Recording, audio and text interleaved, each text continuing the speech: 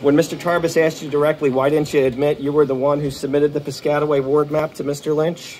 You said the map was submitted by to Mr. Lynch by one of the commissioners. You didn't admit you were the one who did it.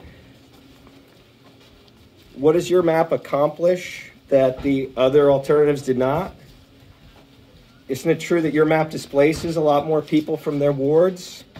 Did you speak to Kevin McCabe or Brian Waller about it?